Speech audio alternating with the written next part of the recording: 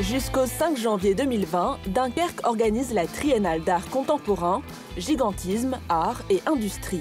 La ville laisse les artistes investir ses murs pour dresser des ponts entre l'art et l'économie. Parmi les 4000 m2 d'espace dédié à l'art, le lieu d'art et d'action contemporaine de Dunkerque organise l'expo à l'américaine.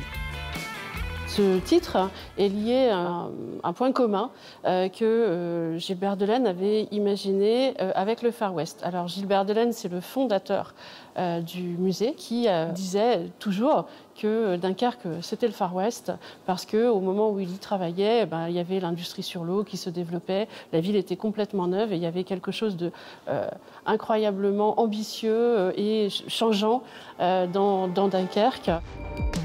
Dans les années 70, l'industrie navale s'implante dans la ville et fait repartir l'économie. De nombreux capitaines d'industrie comme Gilbert Delaine investissent dans l'art et attirent ainsi les artistes dans les salles d'exposition, il y avait cette mise en relation euh, d'un état d'esprit euh, entre des artistes français et européens et certaines formes d'art euh, américain avec des, très grands formats, mais également cette, cette volonté de faire converger l'art et les avant-gardes. Ces artistes avant-gardistes, ce sont les nouveaux réalistes, Armand, César ou Gérard Deschamps. Ils s'inspirent de l'industrie de la guerre ou des recherches technologiques pour créer des œuvres d'art qui commentent leur époque.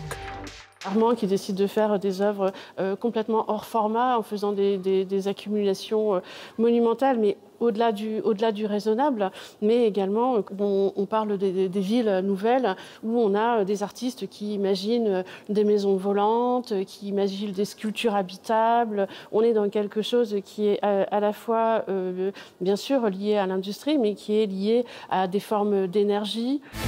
L'expo et la triennale témoignent de ce mélange entre industrie, art et économie. Fascinés par cette croissance démesurée, les artistes se font surtout les critiques d'une époque sans limite.